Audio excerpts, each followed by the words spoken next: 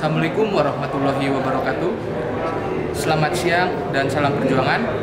Perkenalkan, nama saya Luke Ferdin Wiranegara, bisa dipanggil Luke. Saya dari mahasiswa Fakultas Ilmu Budaya, Program Studi Ilmu Sejarah Universitas Diponegoro, Semarang. Sebelumnya saya ucapkan terima kasih sekali, terima kasih banyak kepada seluruh jajaran dan uh, beberapa staf yang mendukung di sini yang berada di Dinas Kesejahteraan TNI Angkatan Darat di Bandung.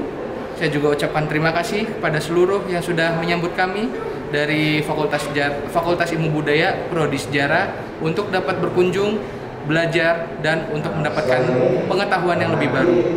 Selanjutnya, saya juga uh, berterima kasih bahwa di dalam Dinas Kesejarahan TNI AD di Bandung ini sangat berkaitan ataupun relevansi terhadap pembelajaran di ilmu sejarah itu sendiri.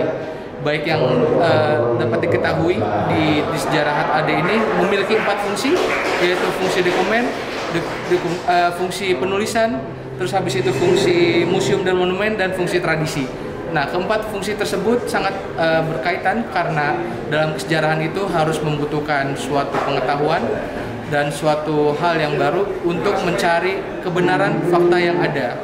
Oleh karena itu, pembelajaran sejarah harus terus dilestarikan dan menjadi harus tradisi turun-temurun. Oleh karena itu, jangan lupa meninggalkan jas merah, jangan lupakan sejarah, harus tetap belajar, mengingat sejarah masa lalu untuk menjadi Indonesia lebih baik ke depannya. Sekian, terima kasih. Wassalamualaikum warahmatullahi wabarakatuh. Shalom Om Santi Santi Om. Nama budaya salam kebajikan untuk kita semua. Dan salam untuk pengetahuan terus belajar sejarah. Terima kasih